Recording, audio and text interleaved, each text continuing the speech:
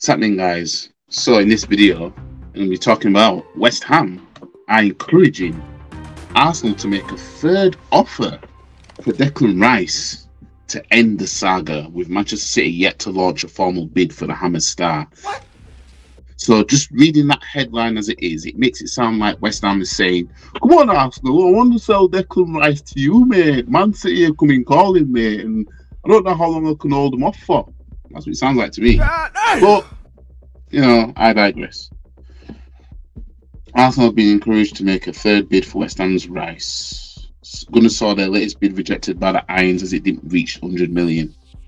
Don't know why we thought that we could bid less and, uh, you know, still land the player. I mean, he's just stupid. Uh, Gunners have been heavily linked with the move for the England international and have already seen two bids Pressure is on Mikel Arteta's side as Manchester City immigrates for Rice and could hijack the move despite not yet making official bid. Um, well, uh, apparently, Declan Rice is basically going by how what things I've seen on so- social media.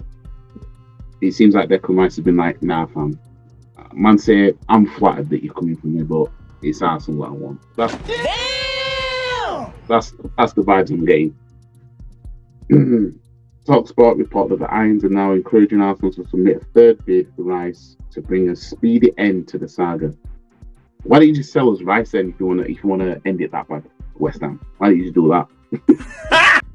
the report continues to state that Pep Guardiola's side have also held talks with West Ham but are yet to make a formal offer after being told Rice prefers a move to Arsenal. Oh! So Man City have been told, look, fam, I know you want me, but I prefer to go Arsenal. Like, how does that feel? Any City fans that may come across this video, how does it feel knowing that despite that you man like were chilling second in the league all season until the end, and then you won the treble, right? How does it feel to know that the England international just turned around and said, "Fam, I'd rather join Arsenal." You know, the bottle drops. You know what I mean? Weird, isn't it? Because you might have got Walker, Stones, Foden, uh, Grealish. Who else is it? Who else is England English international? Those are only four I can think of right now. But you've got more than that. But you you've got all them man there. I mean? And and them man couldn't couldn't make the pull and say to Rice, look, man, we've won the treble. You could win more right here. I mean, you could follow up what you did at West Ham and go even further here. And West and and and Rice is turning around saying, "I'd still rather join Arsenal." That is that is something. If all that's hundred percent true, that is something. The Hammers are keen to end saga as Mick to push us for the England international. You're not pushing hard enough, are you? You're not pushing hard enough. You see, you these man Arsenal, right? These man were so quick to push for Central Cee wannabe, aka Kai Havertz. you know what I mean? Kai Havertz was so important to get into this team, wasn't it? You know what I mean? So important. Yet, when it comes to Declan Rice, you man are stalling. You man are someone else, you know. This comes after it was reported that West Ham believed Arsenal's new offers was imminent as Man City put pressure on the Gunners. So, yeah, you think now that we'd step up our game because Man City are, are in. If this doesn't if this doesn't come to an end anytime soon, don't be surprised to see Arsenal end interest in Rice. Don't be surprised. But the Hammers are yet to receive an improvement on the latest bid worth 90 million that was rejected by West Ham. It remains to be seen as whether City will make their first move for the midfielder with Guardiola, a huge fan of Rice. Mateo Kovacic is set to complete his move to the Etihad after undergoing medical on Friday. Ilkay Gundogan's departure could play into a potential move for Rice, while Kalvin Phillips has reported interest from Bayern Munich this summer. Bit of a weird one. With West Ham keen to end saga once and for all, movement is expected on Rice front. So let me just let me just say a little little two two bit of something about this, right? As I said, do not be surprised if if you see headlines Arsenal end interest in Rice. Right?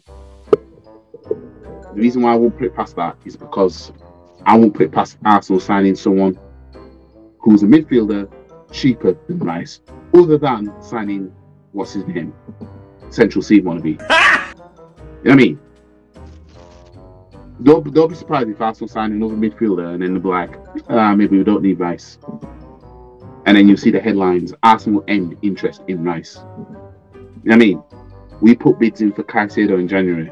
What happened there? I mean? So we, we know a pattern now, don't we? Because we had bids for Douglas Luiz last summer, rejected in the last minute, didn't go back in for him. So we know what the pattern is now.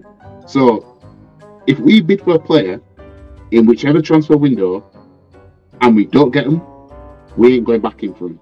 We know that. You know what I mean? Did it, we did, we it, did it twice in succession now.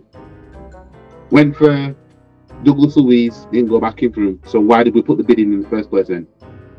Went for Caicedo, bids rejected, didn't go back in for him, ended interest. Imagine, imagine getting Caicedo and Rice. We weren't gonna get both. It's too good. It was too good to be true. It was too good to be true. I have a good mind to pull up my video where I said we ain't getting both, but I don't need to. I don't need to do that. I don't need to bring no videos back because you man that have been following me for a while now on YouTube, you know what I've been saying. You know what I mean? And we we know this football club very well. We know we ain't about that life. I mean? Getting two quality players like that, no, fam. There's only one quality player allowed in the, in the, in a transfer window like that. You know what I mean?